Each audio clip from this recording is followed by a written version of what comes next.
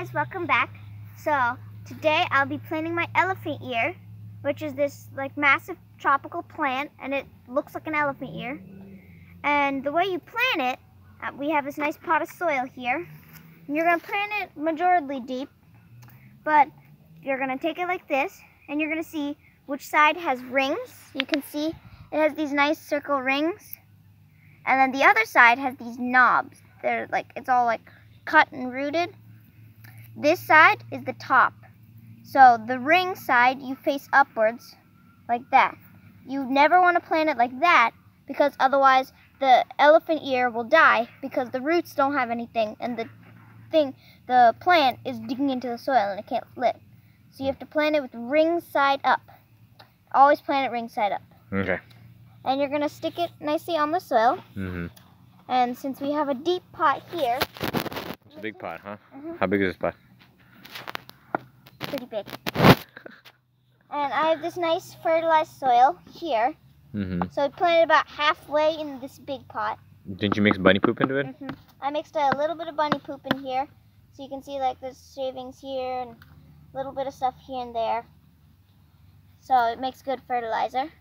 And we're going to pour this stuff on top of the elephant ear.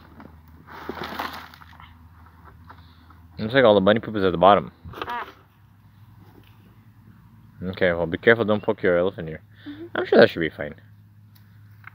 What do you think, We're bud? going to spread it out nicely. What's that?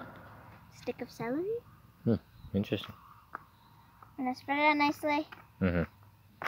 and we have planted our elephant ear, and we will wait for it to grow. When do you think it's gonna grow?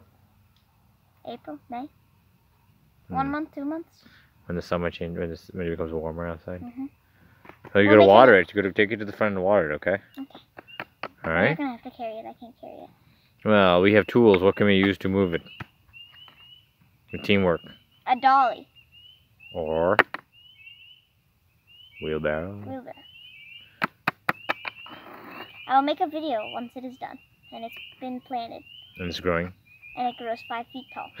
Five feet tall. Yeah, it said it grows up to five feet tall. Wow. That's pretty wait. cool. So now your elephant ear is all ready for spring? Mm-hmm.